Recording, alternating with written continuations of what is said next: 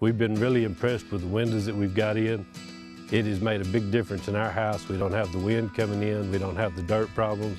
It's made a lot of difference. If I've got something else I'm going to do, well, I'm probably going to call Bart. He's the only one I'm going to think about.